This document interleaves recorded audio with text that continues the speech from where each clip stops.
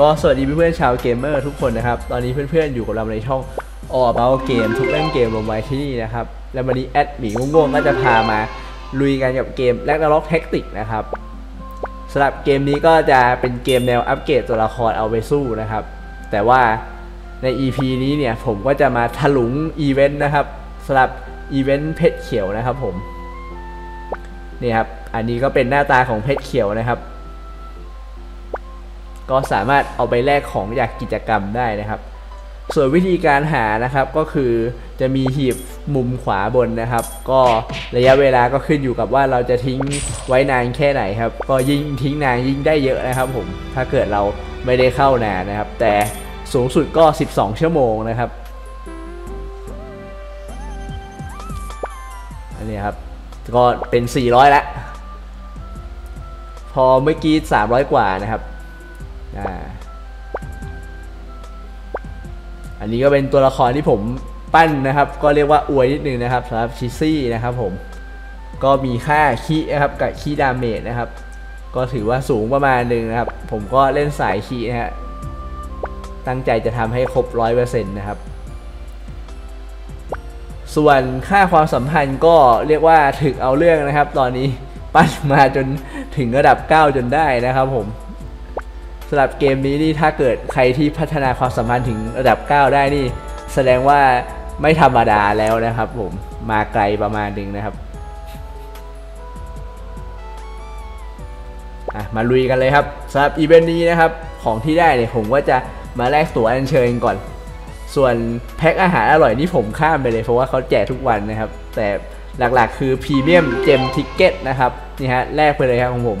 แต่ถ้าแลกอย่างอื่นก็ถือว่าก็คุ้มอยู่นะ เพราะว่ามีทั้งพวกไข่หมุนที่แบบว่า drop ยากๆนะครับ หรืออุปกรณ์ระดับ 21 นะครับผม อันนี้ก็แล้วแต่ความชอบนะครับ แต่ของผมวันนี้ก็จะถลุงเนี่ยครับ Premium Gem Ticket นะฮะเพื่อเอาเพชรเนี่ย เอาเจมเนี่ยมาใส่ตัวละครให้เก่งขึ้นนะครับผม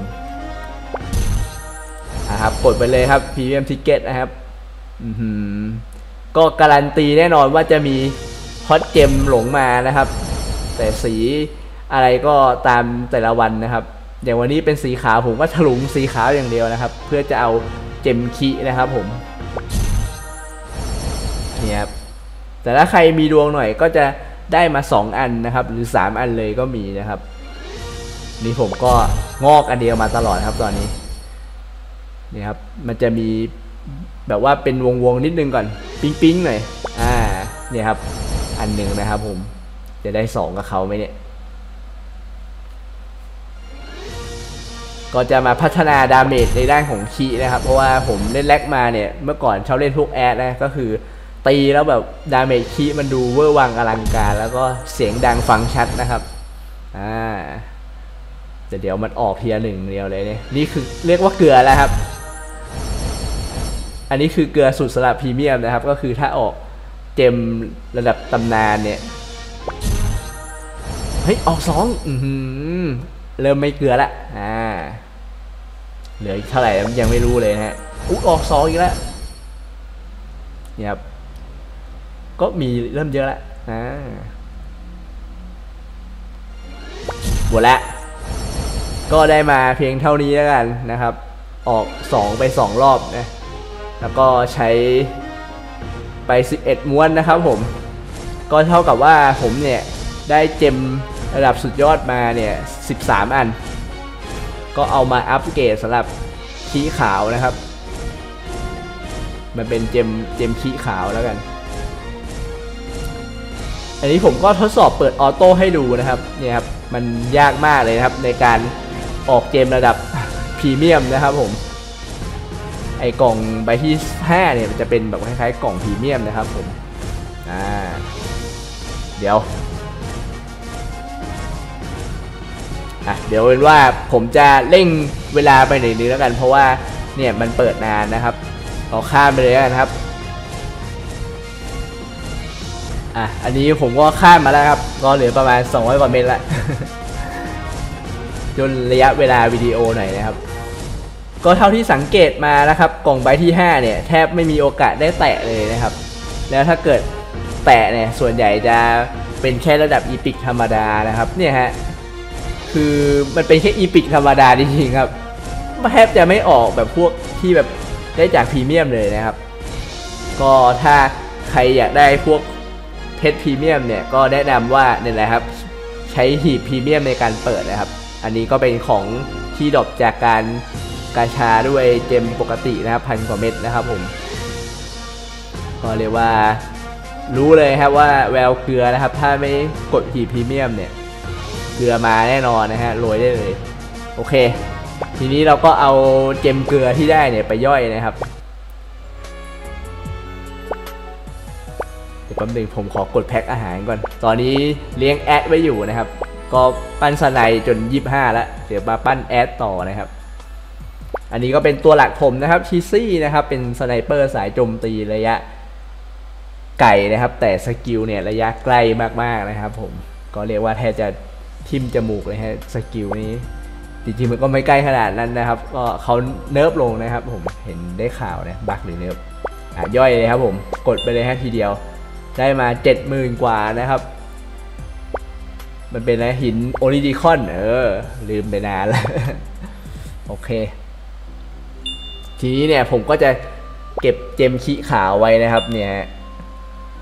เก็บไว้นะครับ เอาไว้ทำรอบอื่น คือเน้นเน้นขี้อย่างเดียวเลย สายถึกนี้ไม่สนละปั้นตามใจชอบนะครับ จริงๆ ถึกก็โหดนะ แต่ว่าผมชอบดาเมจคีมากกว่า มันดูแบบเท่มันดูเท่เออทีนี้ก็เอามากันนะครับ อันอื่นที่เราไม่ได้ใช้ฮะกันให้หมดนะครับผมนี่ฮะขึ้นไป2ดาวแดง 3ดาวแดงอ้าวใช้5อันเกี้ยงพอดีนะครับโอ้โหเหมือนเกมนี้จับวางมาเลย นี่ครับ ดาเมจค่าคีเนี่ยเพิ่มมาอีกประมาณ 30%ได้เลยเดี๋ยวผมอัปเกรดก่อน จะถึง 300ไหมเนี่ย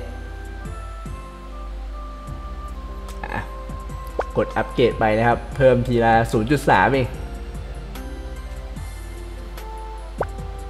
ปึ้งเหลือ40ปึ้งอันนี้ผมอัปเกรดเปอร์เซ็นต์คีก่อน สีแดงเนี่ยจะเป็นเปอร์เซ็นต์คีนะครับผม ส่วนอันที่เป็นเจมขาวเนี่ยจะเป็นคล้ายๆ เพิ่มความแรงในการติดค่าคีนะครับ อ่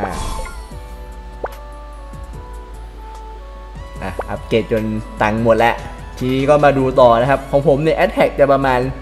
26,000 แล้วก็ค่า crit damage เนี่ย ก็ตีเป็น 300%แล้วกันก็คือแรงแรงขึ้น 3 เท่านะครับ ถ้าไปยิงมอนทั่วไปแบบมั่วๆซั่วๆนะฮะ ก็จะประมาณ 75,000ถึง 80,000 เลย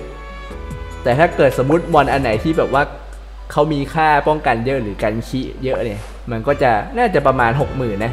แต่ถ้าเกิดเป็นบอส MVP เนี่ยผมว่าน่าจะเข้าประมาณหมื่นนิดๆแหละเพราะว่าบอส MVP รู้สึกเกาะมันจะโกงอะไรนึงนะฮะ แต่ว่ามันไม่ค่อยทนเวทที่ผมไม่เจอนะ ส่วนใหญ่โดนเวทยิงนี่แรง สมมติปกติเข้าหมื่นกว่า เวลายิงนี่จะแรงกว่าเดิม 2 เท่านะครับ เท่าที่เคยลองดูมาอะอันนี้ลองมา PVP ดูนะครับ ก็ตัวกลางผมเนี่ย 160 นะครับ เป็นตัวหลักเลยสำหรับชีซี่นะครับผม อือหือเดี๋ยวเดี๋ยวแปดหมื่นแล้วใช่ไหม เหมือนเมื่อกี้ผมเห็น damage ขึ้นแปดหมื่นเอาตัวผิดตัวหนึ่งโอเค อันนี้แหละเท่าไหร่ ยิงเข้าไปเปี้ยงโอ้โหหกหมื่นกว่านะครับผม แสดงว่าฝั่งนู้นก็มีการจีนะครับ เปี้ยงเปี้ยงเปี้ยงอือหือเนี่ยโอ้โห มันเล่มันจะดูแบบเวอร์ๆหน่อยนะครับ ก็ ถือว่าโอเคนะ ประมาณ 60,000 กว่าไม่เกินนี้ถ้า PVP นะแต่ถ้าเป็นบอสนะเดี๋ยวผมเดี๋ยวผมจะลองไปตีบอสดูแล้วกัน ว่าจะเข้าเขาเท่าไหร่นะครับ แต่ผมว่าแตะหมื่นก็โอเคแล้วแหละ เพราะว่าบอสมันจะกันพวกไอเนี่ยกันพวกโจมตีกายภาพเยอะนะครับ แต่ว่าเวทนี่ก็โดนถลุงแรงขึ้น 2 เท่านะเท่าที่ดูมาอะเดี๋ยวสักแป๊บหนึ่งเดี๋ยวผมจะไปลุยบอสกันเลยนะครับผม สำหรับบอส MVP นะครับ ก็เดี๋ยวผมหาก่อน เพราะว่าของผมเนี่ย ช่วงนี้เขาติดพวกเด็กอะตัวที่เป็นแอดกันนะครับ แต่ผมก็ตีไม่ค่อยไหวแล้วครับ เลยหาตัวง่ายๆก่อนนะครับ อย่างนักดาบหรือที่เป็นวิสาดนะครับผมจำชื่อคาสาไม่ได้แล้ว ไม่ได้เล่นนานนะครับ จะเจอไมเนาะต้องหาคนเวลสัก 50 เพราะว่า 60 นี่ 50 58 โอเคเจอละ อ่าแต่เมื่อกี้ผมก็มีไปเช็ค damage ย้อนหลังอีกทีนึงนะรู้สึกว่าไม่ใช่80,000นนะดอกแรกอะ8,000นนะครับผม น่าจะของตัวอื่นขี้นะครับ ก็6,000เฮ้ยเออ60,000ก็ไม่เลวนะอะรีต่อนะครับ เดี๋ยวผมจะมาลองทดสอบกับบอสตัวนี้ดูนะครับ จาก60,000เนี่ยจะเข้าเท่าไหร่นะครับเริ่มเลย เดี๋ยวทีแทบไม่ออกเอ้ยออกแล้วนี่ไงเขาใช้ skill นะครับ เข้าประมาณ 40,000นะครับ แต่ถ้าเทียบถ้าเทียบกับเมื่อกี้รู้สึกว่าจะแสนสองไหมน่าจะหายไปสามเท่านะครับอ่านี่ damage ออกธรรมดาจะประมาณ 20,000นะครับเอาร่วงมาแล้ว ก็น่าจะหายไป 3 เท่าแหละครับผม จาก 60,000 ก็เหลือ 20,000 ส่วน ถ้าไม่ตายเนี่ยจากแสนสองนะครับ ก็จะเหลือ40,000นนะครับผม อ่าเดี๋ยวผม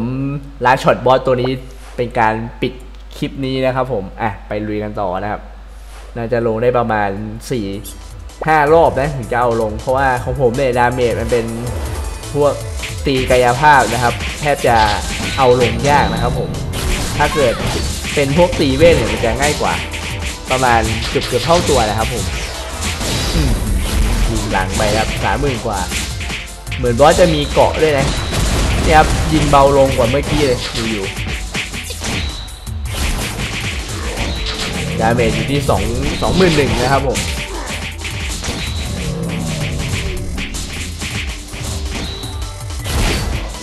อ้าวหายเลยครับ แต่ว่าสำหรับ sniper เนี่ยตัวก็บางอยู่นะครับ ถ้าเกิดใครจะเล่นนี่ต้องมี คล้ายๆเป็นแบบแผงแผงกันดีๆนะครับผมไม่ก็ต้องหาตัวสายฮิวมานะครับ แต่ผมไม่ได้ปั้นไว้ อ่าลุยต่อครับ แต่ก็อย่าลืมนะครับว่า อีกไม่กี่วันก็จะหมดอีเวนต์นี้นะครับ น่าจะพรุ่งนี้นะครับวันที่ 5 เห็นเขียนไว้อยู่นะครับ ก็ต้องระวังอย่าแบบว่าอย่าเผลอ ไอ้นี่ on ทิ้งแบบว่า on ปิดทิ้งไว้นานเกินนะครับ ถ้าเกิดเราปิดทิ้งไว้นานเกินแล้วมารับเนี่ยอาจจะจบอีเวนต์มาละเพชรก็แลกไม่ทันนะครับ โป้งสี่หมื่นน่าจะเหลือรอบหนึ่งหรือเปล่าเหลือกสี่รอบเลย ก็ใครที่เล่นเกมนี้อยู่ก็ทักมาได้นะครับ แต่ผมก็ภาวนาให้ตู้ใหม่เนี่ยเอาแบบเป็นคนมาลงต่อนะครับพวก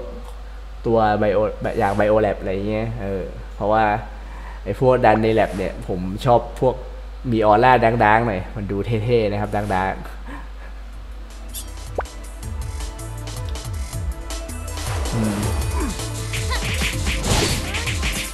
โป้งสี่หมื่นกว่า โอเคครับ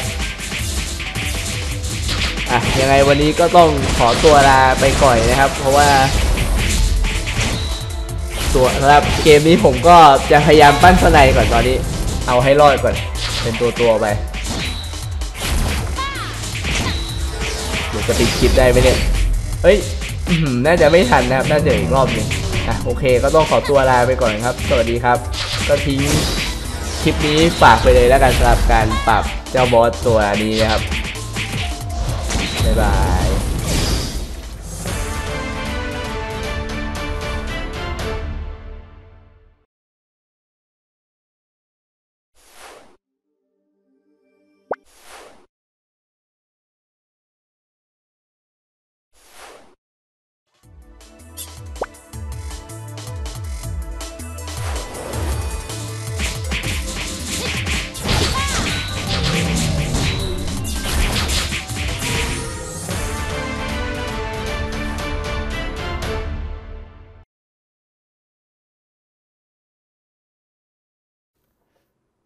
All About Game